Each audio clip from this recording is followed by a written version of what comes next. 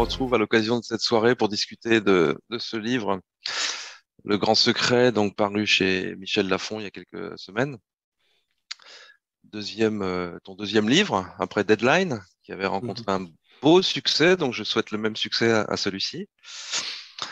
Euh, alors, on va parler des expériences de mort imminente, dont tu es un, éminent spécialiste depuis quelques, quelques décennies, on peut dire même ah oui, ça commence à faire, oui. C'est ça, voilà. Ah.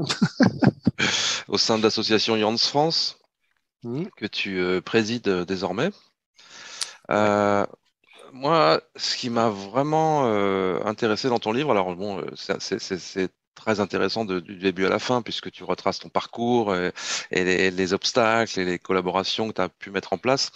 Moi, ce, que, ce qui m'a particulièrement intéressé, c'était justement euh, tes tentatives de, de, travailler, et, enfin, et de fait, ça, ça a abouti, le fait que tu aies travaillé avec des neuroscientifiques et notamment donc les, gens du fameux Coma Science Group de, de Liège, qui sont, euh, qui sont bien connus pour étudier les comas d'abord, et puis euh, maintenant aussi les expériences d'état modifié de conscience, la transe, euh, même l'hypnose, je crois, et, et, dont les expériences de mort imminente. Alors, c'est fascinant parce qu'on voit qu'il y a une espèce de choc de, de, de vision, en fait, de, paradigme en quelque sorte.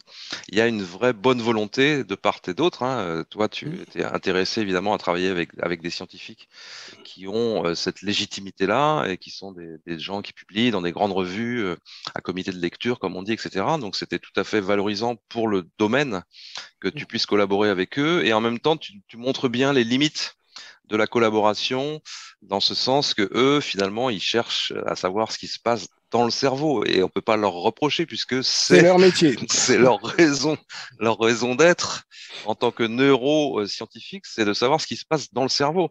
Or c'est un peu la limite de l'exercice parce que finalement si tout ne se passe pas dans le cerveau, euh, il y a une sorte d'impasse quoi quelque part.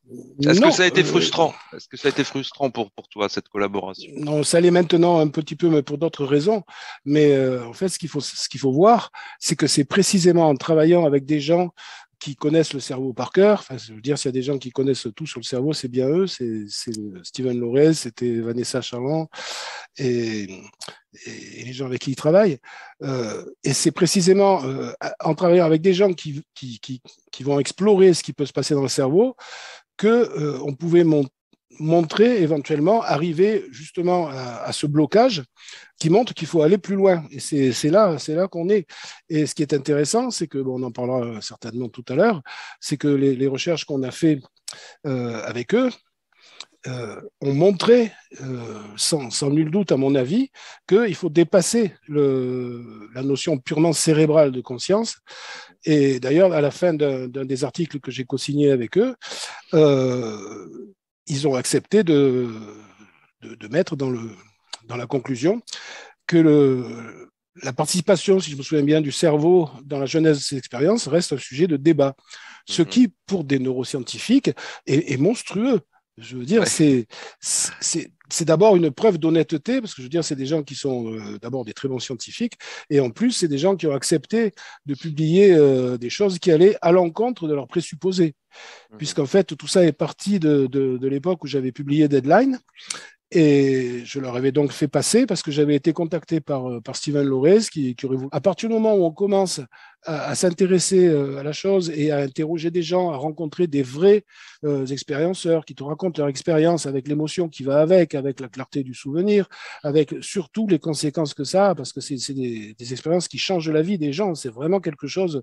Là, je dirige une thèse justement sur les, euh, les, changements euh, apportés par l'expérience dans la vie, dans l'apprentissage, parce que on repart de zéro pratiquement. Quand on a vécu ça, ça, ça met tout le reste de côté et on repart avec une autre vision du monde.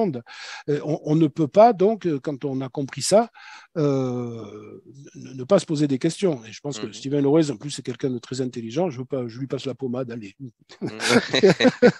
non, non, mais c'est vrai, c'est quelqu'un de, très. très ouais, c'est quelqu'un d'intelligent, d'ouvert. Et, malgré sa spécialité qui est centrée sur le cerveau, bon, il y, a de quoi faire. Mais bon, il commence à réaliser qu'il y a des choses qui peuvent ne pas ne pas être très cohérente avec la, ce qu'on connaît de la conscience euh, habituelle. Comment, comment est-ce qu'ils réagissent justement face au cas de perception hors du corps, véridique, comme on dit en anglais, validé, vérifié, confirmé par des tiers qui sont des récits effectivement qui restent anecdotiques, comme dit Vanessa, effectivement ce ne sont pas des preuves en tant que telles, mais est-ce que tu sens que ça les que ça les titille, que ça les chatouille, ça les gêne aux, aux encornures, ou bien euh, est-ce qu'ils occultent le truc, ils veulent pas le savoir, parce que finalement c'est ça le, Graal, c'est quand même d'arriver à, démontrer à démontrer ça, la perception hors du corps. En tout cas, c'est un des, je, un des je, pareil, je ne veux pas parler à leur place. Euh, je, pense qu'ils ont bien évolué depuis le début, justement parce que à partir du moment où ils ont commencé à se rendre compte que ces expériences c'était beaucoup plus complexe que ce qu'ils pensaient, hmm. qu'un simple phénomène cérébral, ils sont obligés de se poser des questions. Après qu'ils y soient ouverts, je demande qu'une chose, c'est de, reprendre contact avec eux hmm. et, de faire une recherche justement sur ces perceptions objectives. Ça sera assez compliqué parce que là, il faut vraiment faire des enquêtes, mais c'est comme ça, qu'entre autres, qu'on pourra euh, avancer. Après, moi, ce qui m'a permis d'avancer, c'est justement euh, parce que je n'ai pas euh, réfuté ce genre de perception. Au contraire, euh, dans, Deadline en particulier, j'ai commencé à, à essayer d'évaluer, à dégager des, des, invariants. Et, à modéliser, et à modéliser tu reprends ton modèle, bien sûr, dans le grand secret.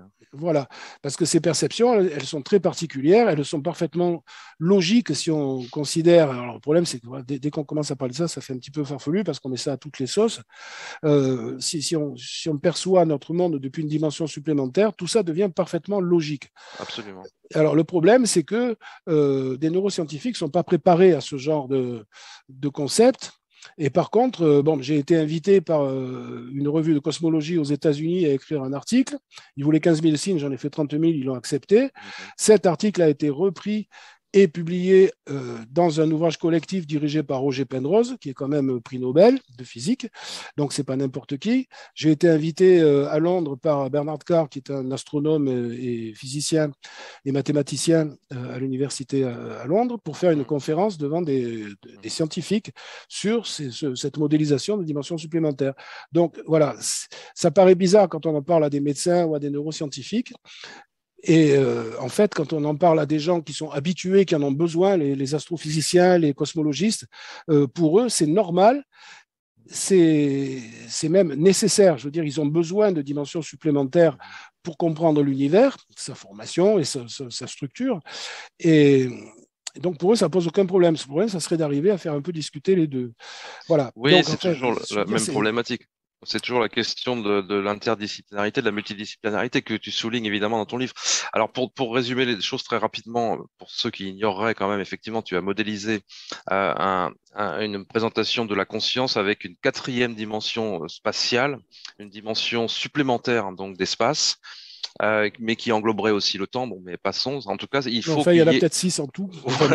on va pas compliquer les choses. en tout cas, pour, pour résumer très très vite, effectivement, les choses s'expliquent très bien pour les perceptions hors du corps si la conscience évolue à ce moment-là dans une quatrième dimension spatiale qui englobe les trois dimensions d'espace. Euh, ça permet d'expliquer les sensations de voir à travers les objets, ça permet d'expliquer la sensation de voir dans toutes les directions à la fois, d'expliquer la sensation de se trouver partout à la fois dans l'espace à trois dimensions, etc. Ah, Donc ça, tu l'avais. C'est bien. tu sais, tu sais qu'il y a longtemps que je l'ai compris. Et c'est vrai que tu l'expliquais, tu, tu, le montrais très bien déjà dans Deadline, tu le reprends euh, et tu le développes un peu dans, dans le grand secret. Donc ça, c'est sûr que ce modèle-là, il est hyper fonctionnel. Et tu sais de toute façon qu'il y avait déjà eu des propositions qui allaient dans ce sens-là pour, pour, pour, expliquer certains phénomènes, euh, justement, euh, un peu, entre guillemets, qui étaient classés dans le surnaturel. Oui, mais qui n'étaient pas basés sur des témoignages. Là, Absolument. C'est parti de, de, dizaines de témoignages qui concordaient sur les particularités perceptives. Donc, c'est pas qu'une idée. C'est ce que m'a dit Bernard Carr, l'astronome et mathématicien à Londres, euh, après la, la, conférence. On, a mangé un morceau, on a discuté. Euh, il, il, me remerciait parce que, euh, enfin, moi, c'est moi qui le remerciais de m'avoir invité et tout. Il me dit, non, non, non, c'est moi qui te remercie parce que moi, je pars de. Lui, il travaille aussi sur les dimensions supplémentaires mmh. et il a, nos modèles se sont rejoints complètement. Ça, j'aurais dû garder la nappe sur. Du, oui, c'est toujours l'histoire de nappe. Oui, c'est parti avec, avec un astrophysicien français et puis ça recommence 30 ans après. Euh, on, tombe sur les mêmes conclusions, mais il me dit, mais moi, je suis parti de considérations purement physiques, mathématiques. Euh, toi, tu pars de, vrais témoignages qui concordent, qui, qui, concordent vers cette, cette modélisation au minimum. Ce n'est pas forcément une théorie, je n'ai pas le niveau pour faire une théorie physique, mais pour faire une modélisation qui tient debout, je dis, et donc, bon, mais à partir de là, on peut supposer que les, gens qui, ont, qui, rapportent des, témoignages de, de, perception, ben, on peut les étudier, ça, je pense que ça vaut largement le coup. C'est, seulement, il faut avoir le courage, puis il faut avoir les moyens aussi, ça c'est, c'est encore une autre histoire. Ouais. Euh, est-ce que de ton point de vue, justement, pour que la science, la connaissance avance vraiment d'un pas décisif et significatif, il faudrait arriver à démontrer euh, expérimentalement donc que euh, cette perception hors du corps, elle est, elle est possible, elle est réelle, elle n'est pas, elle est pas illusoire. Quoi. Il me semble que c'est ça le, blocage en fait principal sur cette recherche. Ah ben, le, jour où, où, des gens comme voilà, Steven Lorez et, et autres admettront qu'il euh, est possible que de, percevoir sans le secours des organes d'essence, qu'il est possible de mémoriser tout ça d'une manière extrêmement précise, alors qu'on a un cerveau euh, qui peut être dans un état euh, désastreux ou pas. Ça, on en reparlera parce que c'est hyper important. Mhm. on aura fait un, pas énorme vers la, la compréhension de ce qu'est la conscience.